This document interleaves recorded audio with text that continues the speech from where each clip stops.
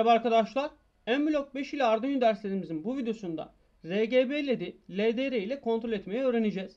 Örneğin ortamın ışık seviyesini LDR ile ölçerken düşük sayılarda ise biz kırmızı rengi elde edeceğiz. Orta seviyelerde ise yeşil rengi elde edeceğiz. Yüksek seviyelerde ise yani aydınlıksa mavi rengi elde edeceğiz. Tabi bu renklerin dışındaki renkleri de kendiniz kodlayabilirsiniz. Şimdi ilk önce devre bağlantılarımızı yapalım. LED'imi alıyorum. Şöyle arkadaşlar yerleştiriyorum. Bildiğiniz gibi RGB LED'imizin 4 tane bacağı var. Hemen bakalım. Birincisi kırmızı. ikincisi katot. Üçüncüsü yeşil. Dördüncüsü mavi. Şimdi bizim kullandığımız RGB LED katot bağlantılı. Ama anot bağlantılı RGB LED'ler de var. Sizin LED'iniz neyse arkadaşlar bağlantıyı ve kodları ona göre düzenlemeniz gerekiyor. Biz şu an katot bağlantılı RGB LED'e göre kodlayacağız. Bu arasındaki farkı daha önceki videolardan görebilirsiniz ve kendinizi ona göre düzenleyebilirsiniz. Hemen geliyorum. Bağlantımı başlayalım. Kırmızıyı arkadaşlar alıyorum. PWM pinleri kullanacağım ben. Şöyle 11. dijital pine bağlıyorum. Tabi kablo rengimizi şöyle kırmızı yapalım. Bu şekilde mi bağlıyorduk arkadaşlar? Hayır. Ne yapıyorduk? Araya bir direnç ekliyorduk. Hemen şu kablomuzu şöyle alalım. Şu şekilde bırakalım. Direncimizi alacağız ama önce döndürmemiz gerekiyor. Evet döndürdük. Şöyle araya yerleştirdik. Yani arkadaşlar direkt bacağa kablo bağlamıyoruz. Araya bir tane 220 ohmluk direnç ekliyoruz. Daha sonra kablo bağlantısını gerçekleştiriyoruz. Evet bu şekilde daha doğru bir bağlantı oldu.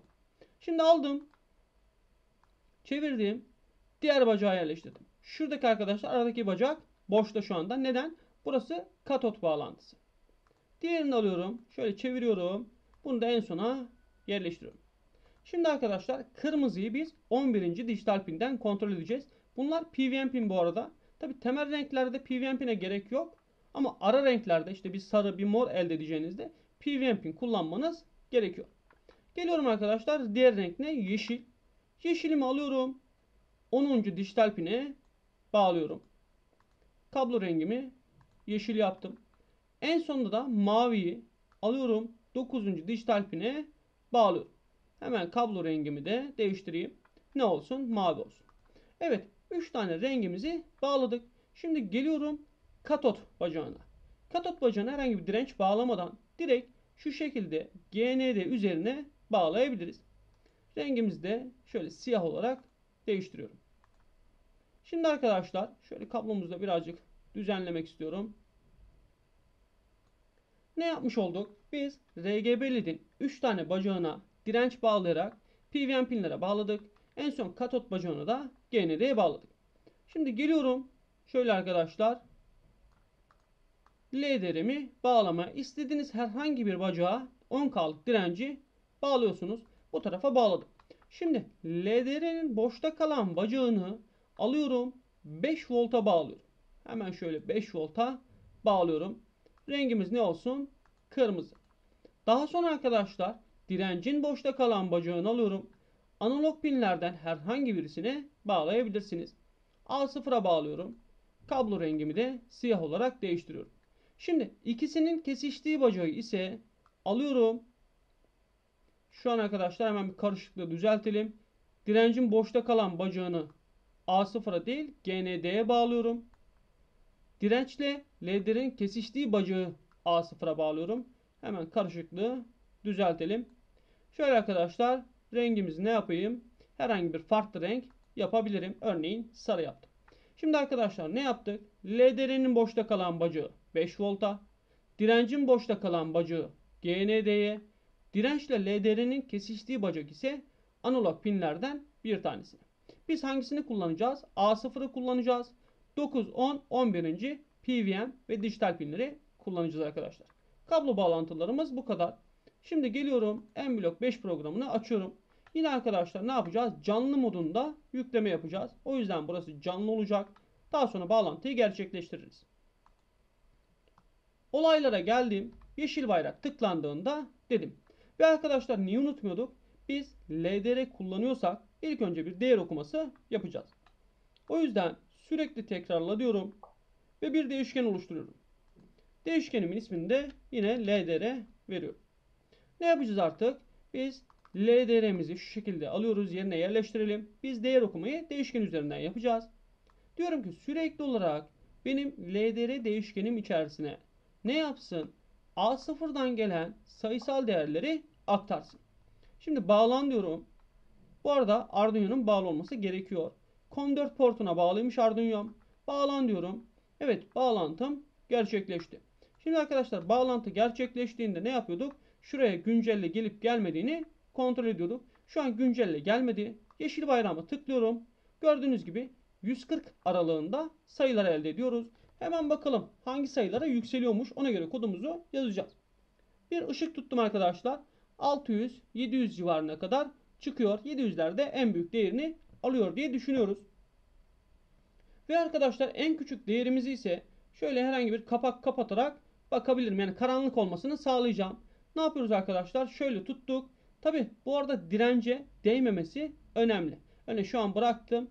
10 değerlerinde üstündeki deliği de kapatırsam sıfıra daha yakın değerler elde ediyoruz. Şimdi arkadaşlar ne yapacağız artık? Biz bu sayıların doğrultusunda istediğimiz koşulları oluşturacağız. Hemen bakalım. Şimdi sıfıra yakınsa ortam karanlıktır ve biz kırmızı rengi elde etmek istiyoruz. Geliyorum buraya. Kontrole geldim. Eğer ise dedim arkadaşlar ve işlemlerden de küçüktür işlemini aldım. Şimdi ne küçüktür diye kontrol edeceğim. Değişkenime bakacağım. Benim LDR'den gelen sayısal değerim küçükse diyelim kaç olsun örneğin? 100'den küçükse diyelim arkadaşlar. Yani karanlık olduğunda kırmızıyı yakacağız.